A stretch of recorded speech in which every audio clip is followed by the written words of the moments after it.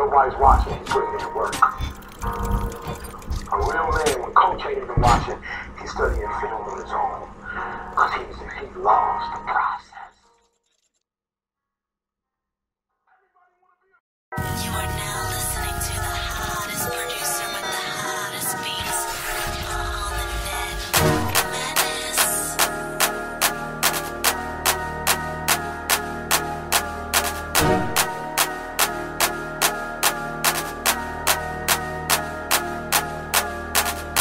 worth dying for.